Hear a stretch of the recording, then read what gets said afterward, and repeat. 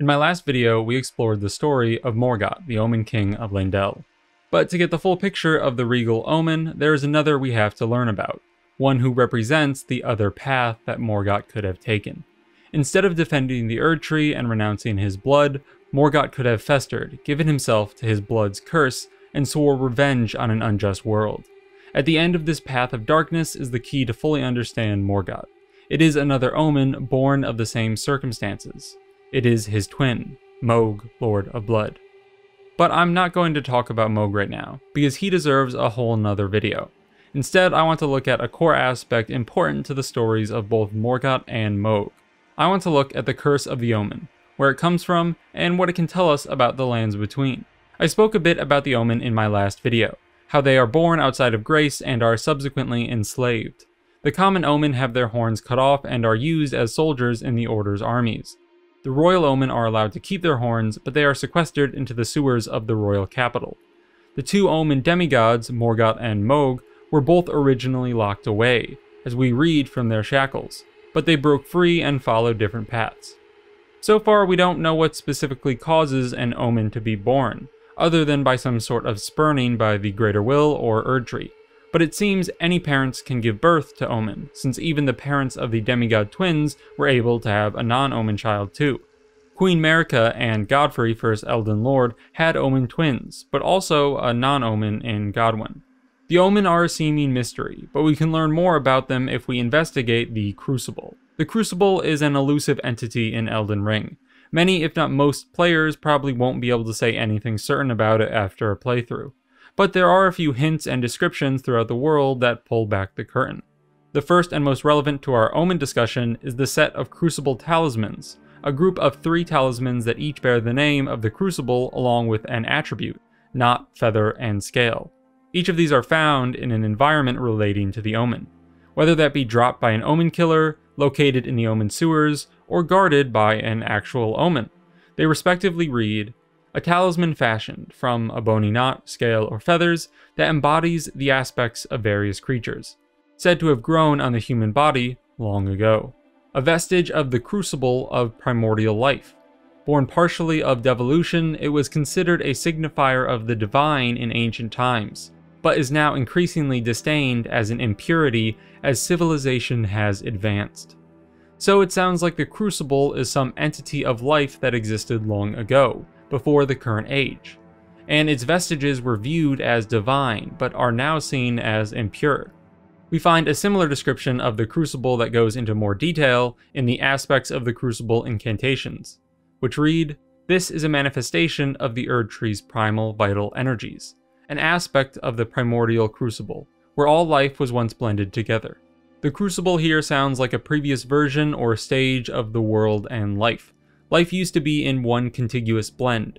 If you've watched my ending videos, you might pick up that this sounds fairly similar to the Three Fingers description of the One Great, an entity that all life existed in before divisions or individuals. This is what we achieve in the Lord of Frenzied Flame ending, melting everything back into one with the Chaos Flame. So the Crucible could be something like the One Great, a time when all life was in one big hodgepodge, without individual beings or lives and souls. It could even be the One Great. But before committing to that, we have one more description to look at. The Crucible incantations are wielded by Crucible Knights. Their armor tells another aspect of the story. Reading, Armor of the Crucible Knights, who served Godfrey, the first Elden Lord, holds the power of the Crucible of Life, the primordial form of the Erdtree. This doesn't necessarily contradict anything said so far, but it tells us that whatever the Crucible was, it served as the base or original form of the Erdtree.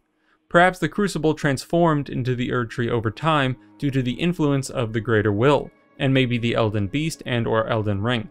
This would work with the idea of the Frenzied Flame and Three Fingers blaming the Greater Will for ruining the One Great by introducing individuals and divisions.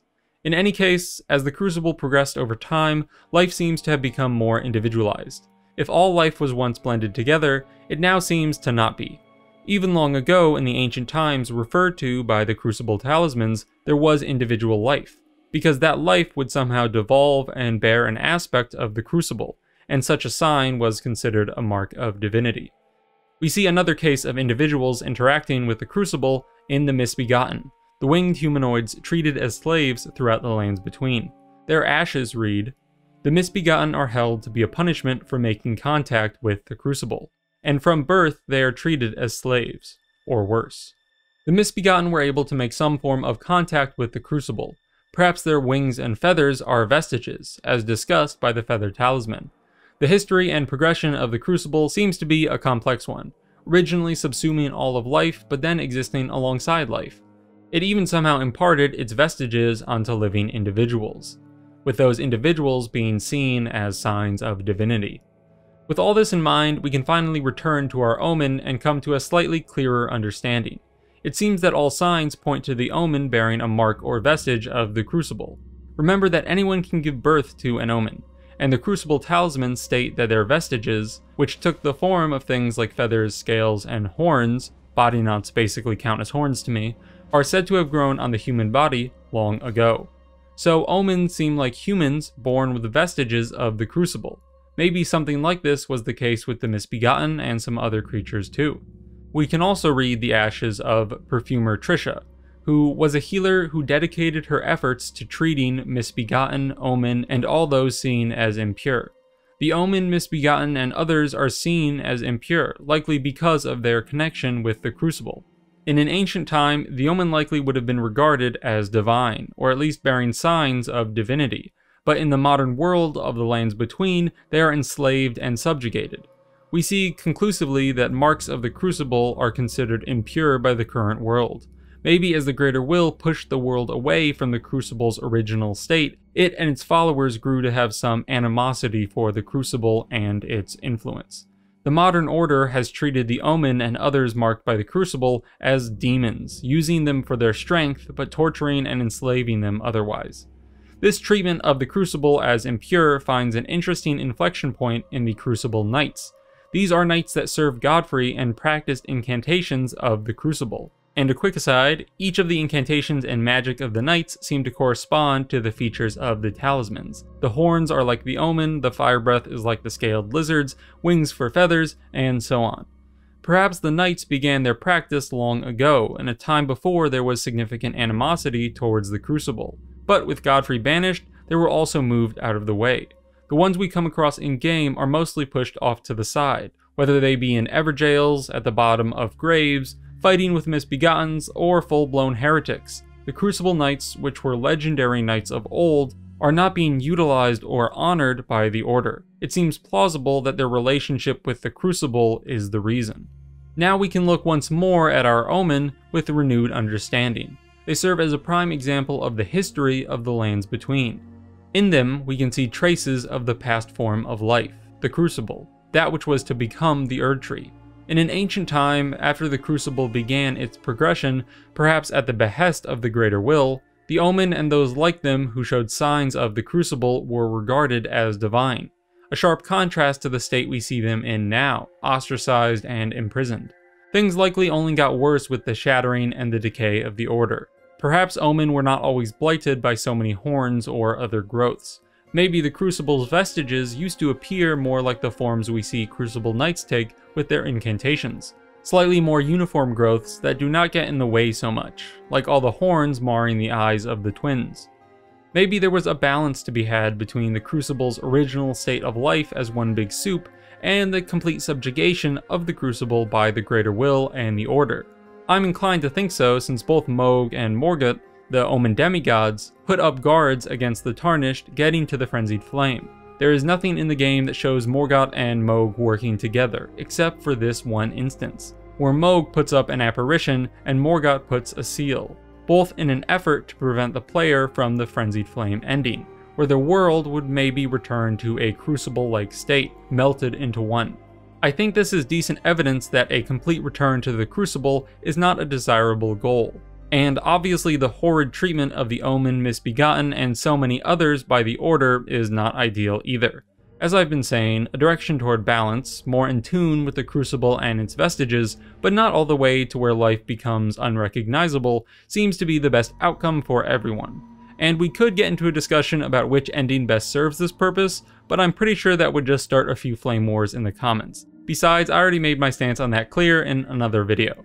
The story of the Omen is a revealing one, for much of what is beneath the surface of the main story of Elden Ring. Their plate and placement gives us a good vantage to see into the past, understand the present, and maybe see what's best for the future. With this knowledge, we can have an even better understanding of Morgott, and we're more ready to learn about Mohg.